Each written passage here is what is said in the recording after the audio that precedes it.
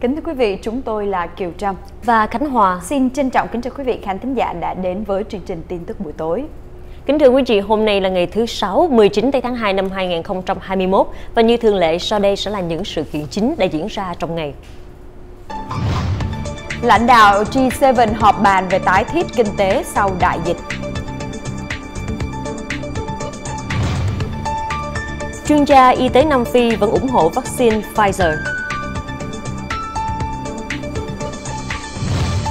Chính phủ Hà Lan tranh cãi tại tòa về việc duy trì lệnh giới nghiêm.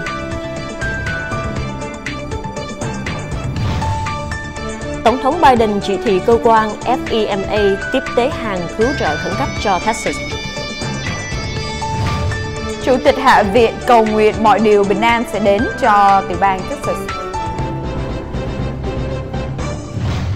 Và ngay sau đây là bản tin chi tiết trong phần tin thế giới. Xin mời quý vị cùng theo dõi.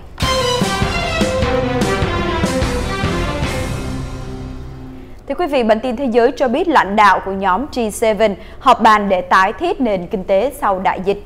Thủ tướng Anh Boris Johnson đã mở đầu cuộc họp trực tuyến nhóm các nhà lãnh đạo G7 vào thứ Sáu 19 tháng 2 bằng cách là kêu gọi kế hoạch tái thiết nền kinh tế toàn cầu sau sự tàn phá của đại dịch COVID-19. Trong một cuộc gọi video với các nhà lãnh đạo đồng cấp, Johnson cho biết ông hoan nghênh những gương mặt mới như Tổng thống Hoa Kỳ Joe Biden và Thủ tướng mới của Ý Mario Draghi. Trong phần giới thiệu, ông đã cho biết ông hy vọng tất cả các thành viên muốn làm việc cùng nhau để xây dựng nhóm trở lại mạnh mẽ hơn từ sau đại dịch.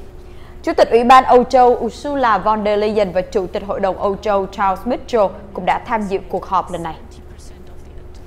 Chuyên gia y tế Nam Phi vẫn ủng hộ vaccine Pfizer. Một cố vấn hàng đầu của chính phủ Nam Phi về COVID-19 đã ủng hộ vaccine Pfizer vào thứ Sáu, 19 tháng 2, mặc dù một nghiên cứu hồi đầu tuần cho thấy biến thể coronavirus địa phương 501 YV2 có thể làm giảm các kháng thể bảo vệ mà vaccine này tạo ra. Giáo sư Salem Abdul Karim đã nói với báo chí rằng ông sẽ không ngần ngại giới thiệu vaccine Pfizer – Nước này đang tin tưởng vào mũi tiêm Pfizer được phát triển với BioNTech của Đức.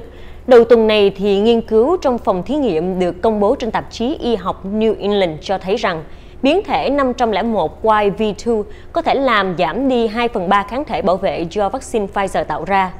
Tuy nhiên thì các nhà khoa học đã nhanh chóng nhận xét rằng vì những kết quả nghiên cứu là từ một phòng thí nghiệm nên rất khó để đánh giá chúng có thể có ý nghĩa gì trong thế giới thực.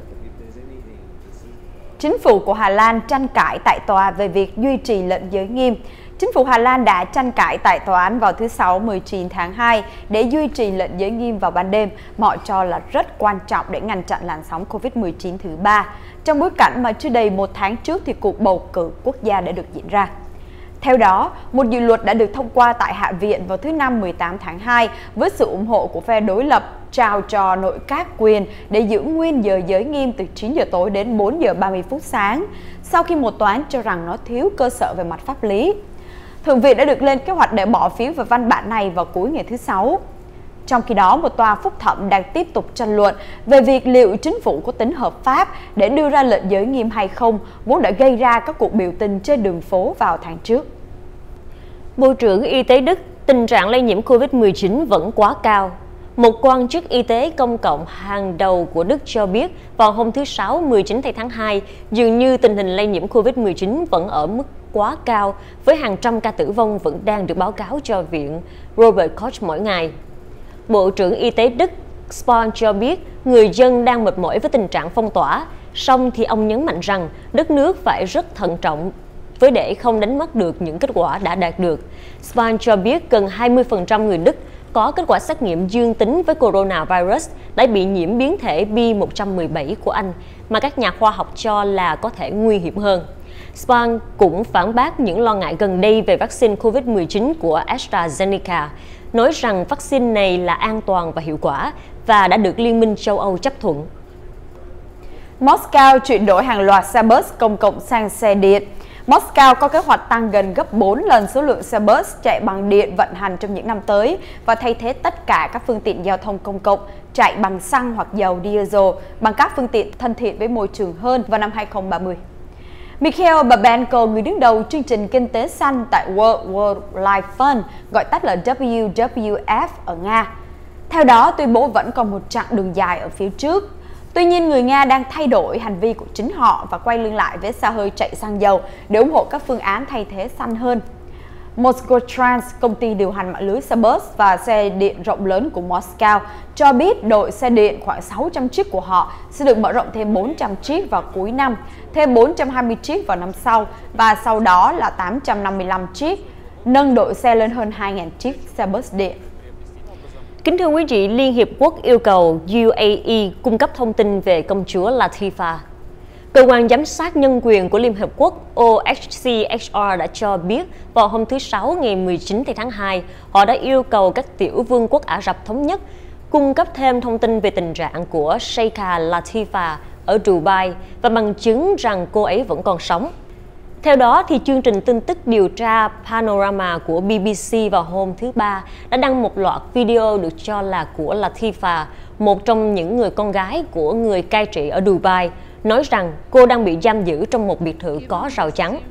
Cơ quan OHCHR đã tiếp cận phái bộ thường trực của đất nước tại Geneva vào ngày thứ Năm, 18 tháng 2 và yêu cầu thêm thông tin và làm rõ về tình hình hiện tại của Sheikha Latifa. Tuy nhiên, thì văn phòng truyền thông của chính phủ Dubai và Bộ Ngoại giao UAE đã không trả lời ngay lập tức yêu cầu bình luận. Bản tin Á Châu nối tiếp cho biết người Miến Điện bày tỏ thương tiếc đối với người biểu tình bị thiệt mạng.